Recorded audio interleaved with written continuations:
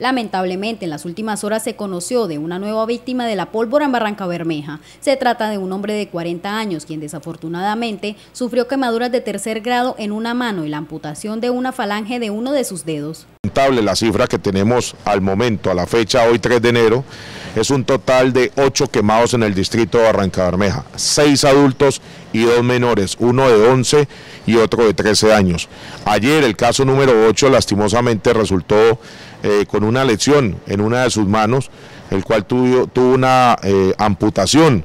en una de las falanges del dedo tercero, del cuarto dedo en la primera falange. A pesar del llamado reiterativo por parte de las autoridades a evitar el uso de la pólvora, la cifra de víctimas quemadas va en aumento, superando la cifra del año 2021. Tenemos que decir que lastimosamente haciendo una comparación con el año 2021, que tuvimos un reporte de seis quemados para este año, para esta fecha, tenemos el reporte de ocho. Es lamentable la cifra, pero queremos invitar a toda la población del distrito de Barranca Bermeja, tanto en el área urbana como en el área rural, a que todavía hace falta eh, la fiesta del Puente de Reyes y que queremos que esta cifra, por favor, no se nos aumente. Cabe recordar que en el caso de menores quemados con pólvora, los padres podrían tener repercusiones legales y llegar a perder la custodia de sus hijos entrar a hacer eh, un programa eh, de investigación, una fase de averiguar qué fue lo que sucedió, cómo fueron los hechos y si hay un mérito pueden hasta perder la patria potestad estos padres sobre sus menores.